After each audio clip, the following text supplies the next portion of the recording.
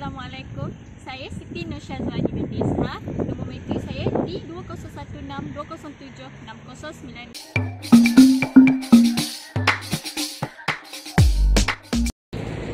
Daerah Kulim terdiri daripada bentuk muka bumi jenis tanah pamak yang mempunyai keluasan sebanyak 76575.89 hektar dan mempunyai jumlah penduduk seramai 222,589 orang. Daerah Kulim mempunyai 15 mukim utama iaitu Sidam Kanan, Naga Lilit, Padang Meha, Bagan Sena, Lunas, Sungai Seluang, Padang Cina, Karangan, Keladi, Sungai Ular, Kulim, Junjung, Terap, Sedim dan Mahang. Malaysia terletak berhampiran dengan garisan Khatulistiwa. Kedudukan ini menentukan jenis iklim yang dialami oleh sesebuah negara. Oleh itu, Kedah mengalami iklim Khatulistiwa atau iklim hutan hujan tropika. Iklim jenis ini tidak mengalami musim panas atau musim sejuk yang nyata. Ini bermaksud Malaysia mengalami panas dan lembap sepanjang tahun. Bagi kawasan Kulin, jumlah hujan yang turun adalah mengikut musim dan masa. Jangkaan jumlah hujan pada bulan Ogos di Kulim adalah sekitar 250 hingga 292 mm iaitu sedikit melebihi purata di mana ia bermaksud ia mengalami peningkatan hujan sebanyak 20% hingga 40% daripada purata jumlah hutan hujan jangka panjang.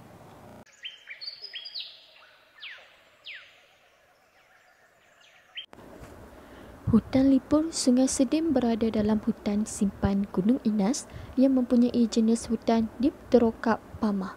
Hutan Dipterocarp pamah membawa maksud hutan yang terdapat di ketinggian 300 meter dari paras laut yang mempunyai bilangan pokok yang padat dan berbagai-bagai jenis. Pelbagai pokok hutan boleh didapati di hutan Lipur Sungai Sedim, misalnya seperti meranti seraya, meranti tembaga, meranti melantai, kulim, terap, Keledang dan Bintangor. Video ini turut menayangkan tarikan yang berada di hutan lipur Sungai Sedim iaitu Tree Top Walk Sungai Sedim yang dijadikan sebagai sektor pelancongan.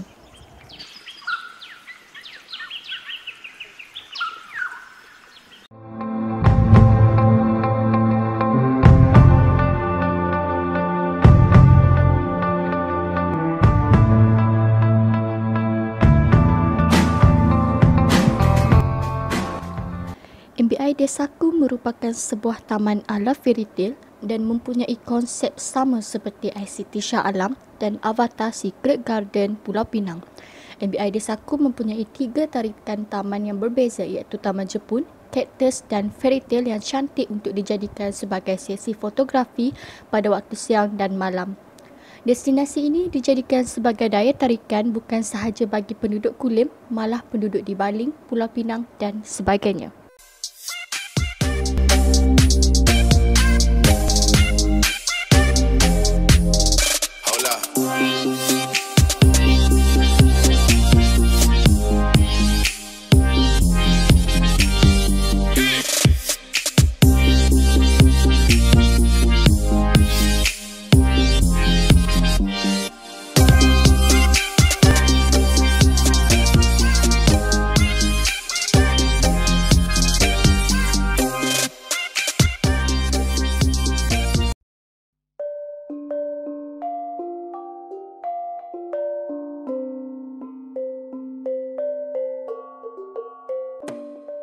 Okey, demografi penduduk Kulim terdiri daripada pelbagai bangsa dan agama, misalnya seperti Melayu, Cina dan India. Manakala agama pula terdiri daripada agama Hindu, Buddha, Islam dan sebagainya. Seperti yang kita lihat, belakang saya merupakan tokong bagi penganut agama Buddha. Video ini pernah dirakamkan semasa sambutan perayaan Deepavali yang diadakan secara besar-besaran di daerah Kulim. Demografi penduduk Kulim yang terdiri daripada pelbagai kaum ini telah mendorong semangat perpaduan kaum untuk sama-sama meraihkan kemeriahan perayaan Deepavali. Bentuk muka bumi di kawasan Kulim terdiri daripada bentuk tanah pamah di mana bentuk tersebut ia mendorong kepada uh, pertumbuhan kawasan perindustrian dan kawasan penempatan.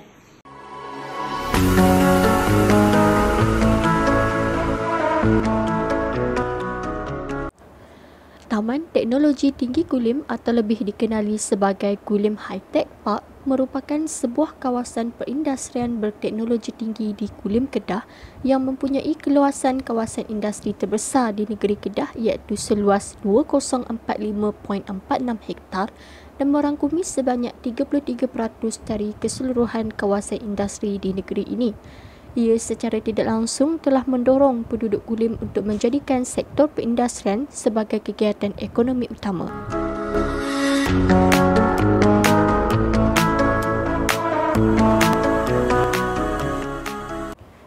Meskipun sektor penternakan hanya dijadikan sebagai kegiatan ekonomi sampingan, namun ia juga turut menjadi penyumbang kepada ekonomi penduduk di Kulim. Apa yang menariknya di sini ialah ladang peternakan rusa ini telah menjadi salah satu produk agro pelancongan baharu di sini. Ladang ini turut menjadi tumpuan masyarakat setempat dan luar untuk merasai pengalaman berinteraksi serta berbanja dengan haiwan liar ini.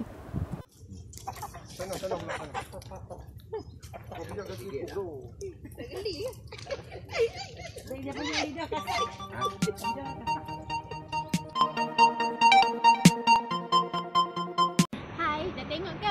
sebelum ni di mana kegiatan ekonomi penduduk Kulim yang utama adalah tertumpu kepada sektor industri. Mesti ada yang tertanya-tanyakan kenapa sektor industri dijadikan sebagai kegiatan ekonomi utama penduduk Kulim. Hal ini kerana terdapat pertambahan migrasi luar yang masuk ke daerah Kulim untuk menumpukan pekerjaan dalam sektor industri.